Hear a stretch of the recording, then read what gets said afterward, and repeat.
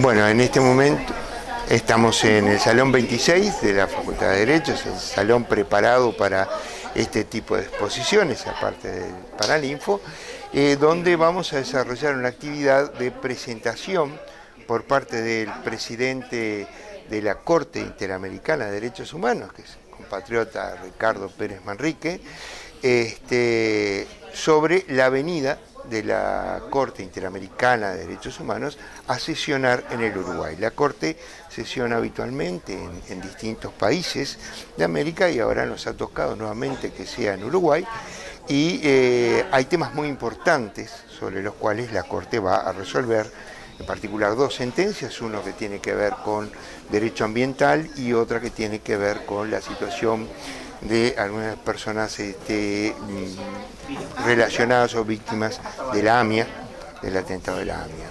Este, la corte va a estar prácticamente una semana, sesionando acá en el Uruguay, un poco más. Este, va a estar en Colonia y en Punta del Este, pero para nosotros es un evento sumamente importante y en nuestro caso, que este, es el Instituto de Derechos Humanos de la Facultad de Derecho, para nosotros es sumamente trascendente este, tener de primera mano acá a la Corte, al presidente de la Corte, que además es uruguayo, y egresado de esta facultad, para que nos cuente eh, cuáles son los lineamientos que en este momento está manejando la Corte Interamericana. Porque la Corte Interamericana hoy, en términos jurídicos, es el órgano supremo, porque inclusive, si, digamos, sus decisiones se imponen a los países, inclusive por encima de las supremas cortes este, de, cada uno de los países. Por eso para nosotros es sumamente importante, es importante para los estudiantes, es importante para los egresados y por supuesto para los docentes que integran nuestro instituto. ¿Cuántos docentes integran el instituto? Bueno, tenemos aproximadamente unos 50. Este, entre, los distintos grados. Y después tenemos algunos eh, contratados, eh, personas que integran momentáneamente el plantel, en caso de posgrado, por ejemplo.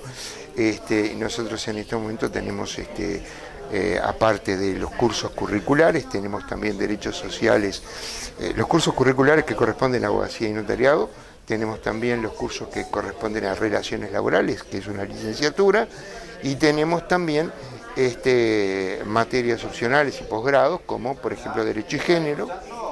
Eh, tenemos también este, eh, materia opcional de Derecho a la Vivienda, de actualización de la jurisprudencia de la Corte Interamericana de Derechos Humanos. Y después tenemos posgrados sobre políticas públicas, eh, sobre bioética, este, en fin, y esto se va actualizando en forma permanente. ¿Desde cuándo existe esta cátedra? Bueno, en realidad comenzó en 1989, pero desde 1991 es curricular, digamos. Y obviamente se fue ampliando. En su momento se formó con lo que era este, eh, una parte de derecho constitucional, este, una parte de derecho internacional, pero como todos sabemos, eh, se ha ido expandiendo la lógica, la filosofía, por decirlo de alguna forma, de derechos humanos a nivel mundial, y eso ha implicado eh, que cada vez hay más tratados de derechos humanos, y organismos de protección de derechos humanos. Recordemos que hace 30 años no existía, por ejemplo, una Corte Interamericana de Derechos Humanos, pero tampoco existía un Tribunal Penal Internacional, los comités no tenían la función que tienen ahora y la comisión tampoco. O sea que cada vez más se ha expandido y en ese sentido también no solo derechos humanos en una materia curricular ahora, sino que también se ha expandido dentro de la currícula, abarcando más horario y también con distintos posgrados y otras actividades. ¿Y vos sos director desde cuándo? Yo soy director desde septiembre del 2020. 2020. Muchas gracias. Gracias.